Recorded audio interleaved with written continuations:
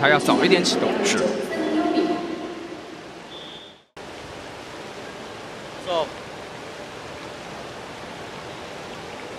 哎。走。非常漂亮，嗯，两个人的起跳力量非常好。对。所以对。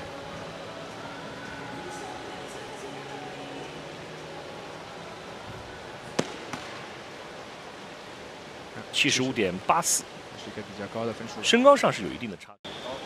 这队也有同样的问题啊，看一看他们怎么来处理。河北二零九的黄展鹏和李俊良，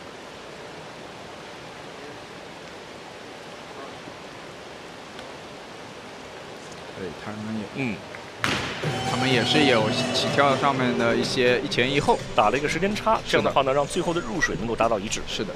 计分七点五，七点五，七点五，七点五，七点五，八分，同步分全部七点五，取得分这样的节奏，同步分就很难上到八分。是的，呃，总分呢，这一组的分数是四十五分，呃，还是偏低的。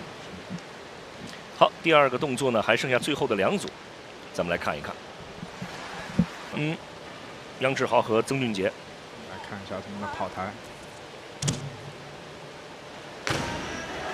还是比较好的，因为他们有身高上的差距，所以同步性上总会欠缺一点。嗯，但是在个人的技术动作上处理的还是不错。对空中的高度，小队员还是稍微低一点点。嗯，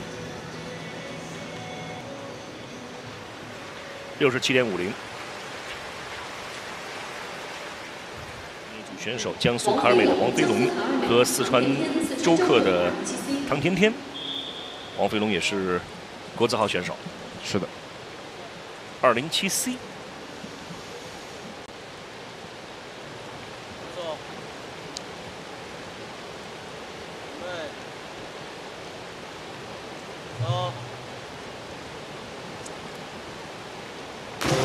非常漂亮，可以，好这样的。状态是的。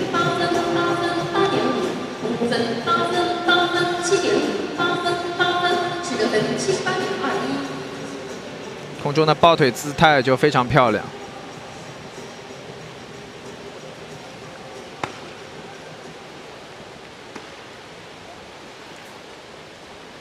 七十八点二一。啊，要上领奖台，这个难度还是比较大。看一看杨志豪和曾俊杰，四零七 C。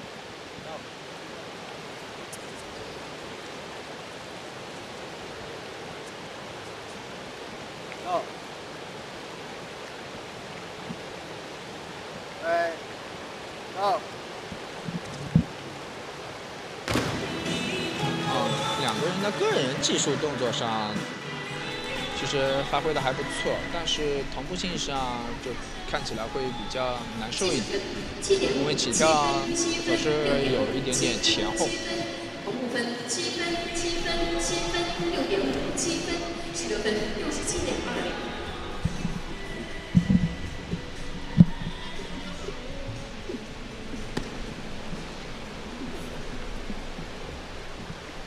六十七点二零。选手呢，在他们的这个比赛中呢，也没有说有特别好的发挥啊，只是一个中规中矩。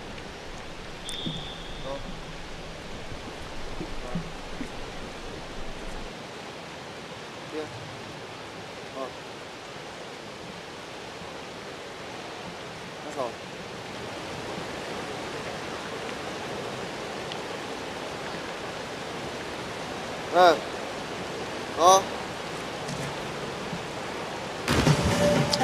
对，其实一高一矮的配对组合，就是脚腕的节奏上面会比较难一点。两个人如果脚腕的节奏不对了，会导致后面一系列的动作节奏都打乱了，所以他们的入水最后都控制不住。呃，这个分数也很一般。对，四十八点九六，四零七 C 的三点二的动作呢没有做好。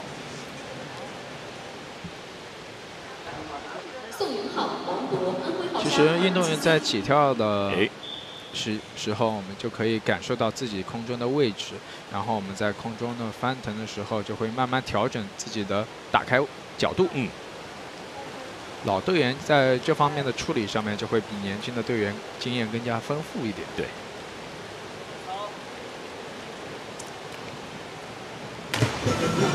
个其实就是起跳稍微差一点，但是如果让老队员来处理这个打开角度的话，就会。稍微好一点。对，其实刚才呢，咱们这个孙导也提到，呃，我们在空中慢慢打开，但其实整个从十米台的跳跃来看，就是大概两秒钟。对，两秒。但这个两秒钟呢，对你们来说应该是非常短暂的时间。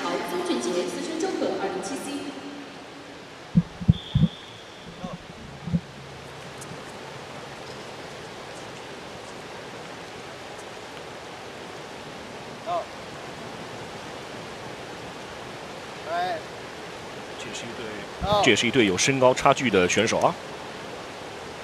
那他们还是入水的先后，是的，还是会有一些问题。对，这个没办法，这个没办法。呃，要调的话，难度还是很大的。等小队员长大就好了。八分，八分，七分，六分，七分，五分，七分，六分。小队员还是需要给他们一些时间来成长。内要把自己的动动作做到。进。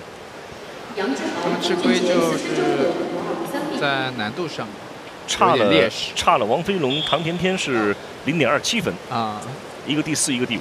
对，那一二三应该是很难撼动。对，没有悬因为都在四百分以上。也基本确定。是的。我们也是提前祝贺拿到冠军的练俊杰和杨浩，还有第二名的陈艾森、朱子峰，以及是来自于天津三六一的这对老将。黄子干和杨林，就像你说的一样，他们这么多年的大赛，至少能拿第三。这届比赛也一点儿没有变化。是的，他们是常年在全国比赛当中，是的，获得前三名。没错。